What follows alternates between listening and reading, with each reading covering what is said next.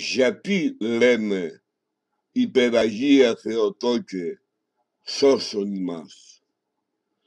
Την επίκληση υπεραγία Θεοτόκε σώσον ημάς πολλοί την παρεξηγούν.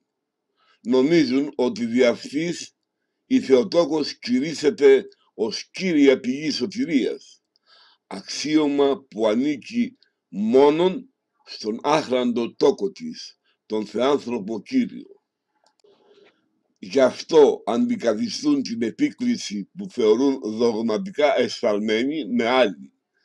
Η Περαγία Θεοτόκε πρέσβευε υπέρ ημών. Η αντικατάσταση αυτή ορθή στο νόημα και τη διατύπωσή της δεν έρχεται ωστόσο σε αντίθεση προς την πρώτη επίκληση. Και οι δύο εκφράζουν το ίδιο πράγμα. Κατά τη δογματική πίστη της Εκκλησίας μας, η Θεοτόκος ουδέποτε λαμβάνεται ως πρώτη και, κυρία, και κύρια πηγή σωτηρίας. Κάτι που θα ερχόταν σε αντίθεση με το λυτρωτικό αξίωμα του Χριστού. Ως μόνου μεσίτη μεταξύ Θεού και ανθρώπων και ως μόνης πηγής σωτηρίας. Σε μια τέτοια περίπτωση η πρόταση θα ήταν δογματικός επιλήψιμη. Η δε Εκκλησία δεν θα τη χρησιμοποιούσε στη λατρεία της. Το ρήμα σώζω, σώσον, εδώ έχει άλλη σημασία. Κυρίως σε ό,τι αφορά στο όργανο δια του οποίου τελείται η σωτηρία.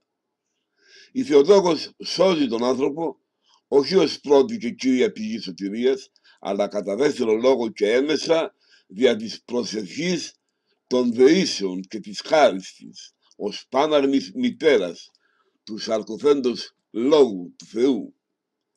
Αυτό ισχύει και για την προσευχή και το μεσητικό αξίωμα όλων των Αγίων.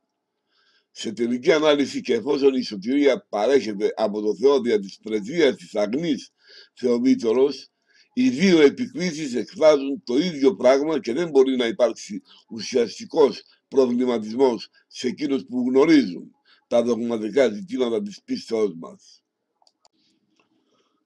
Στα αστήρικτα βέβαια πνεύματα μπορεί να υπάρξει κάποιος σκανδαλισμός. Σε αυτά όμως πρέπει να φωτίζει και να καθοδηγεί την αλήθεια, στην αλήθεια η διδάσκουσα αρχή της Εκκλησίας. Η ζωή του ανθρώπου στη γη αυτή είναι γεμάτη πειρασμούς.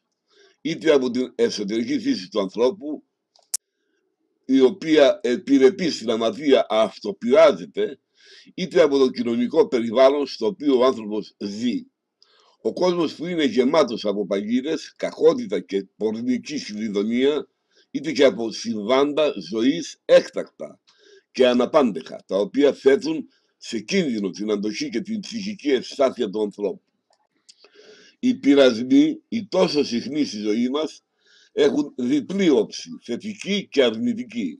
Από τη μία δοκιμάζουν τον άνθρωπο, αυξάνοντας την αντοχή, την υπομονή και την πίστη του στην πρόνοια του Θεού, εκτρέφοντας την ελπίδα και την γλυκιά αίσθηση του σωτηρίου στο οδηπορικό του πιστού προς την ουράνια Θεία Βασιλεία και από την άλλη όμως δεδομένη στις αδυναμίες της φύσεως είναι, είναι δυνατόν να οδηγήσει τον άνθρωπο σε πτώση με ό,τι αυτό συνεπάγεται στην ηθική και την πνευματική ζωή του.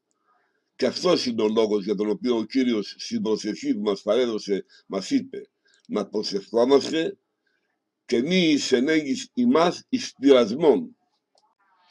Οι πιστοί έχοντας παρησία προς την αϊπάρθενη μητέρα του Χριστού καταφέρνουν στη χαρή της ζητώντας από αυτήν λύτρωση από τις δυσκέρειες και τα δεινά που καθημερινά τους ταλαιπωρούν και τους συνθλίβουν